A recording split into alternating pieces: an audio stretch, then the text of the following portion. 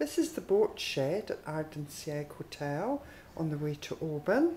It's absolutely fantastic. You're right on the shores of Loch Awe. I'm out in the balcony at the moment and here is Loch Awe. The loch's really high at the moment because there's been a lot of rain. We've just had the tail end of Hurricane Katia in Scotland. But it's really mystical and magical. So you get a fantastic view from inside and there's quite comfy seating. There's a small kitchen area in here.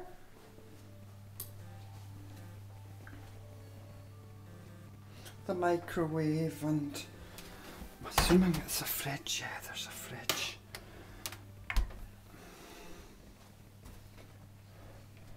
So look at the table and stuff. And now I'm going to go upstairs to the bedroom and the bathroom.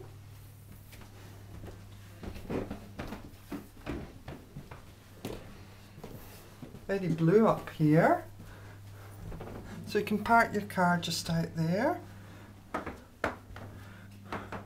And look at the view from your bed. Wow. Maybe the bathroom's downstairs. I haven't worked that out yet. So yes, that's the bedroom so you can lie in bed and have this fantastic view. That's just a cupboard with an ironing board and stuff. So the bathroom must be downstairs. Should have had a look before I started taking the video. Maybe this is it here. Yeah, that's it. So it's got a view out to the loft too.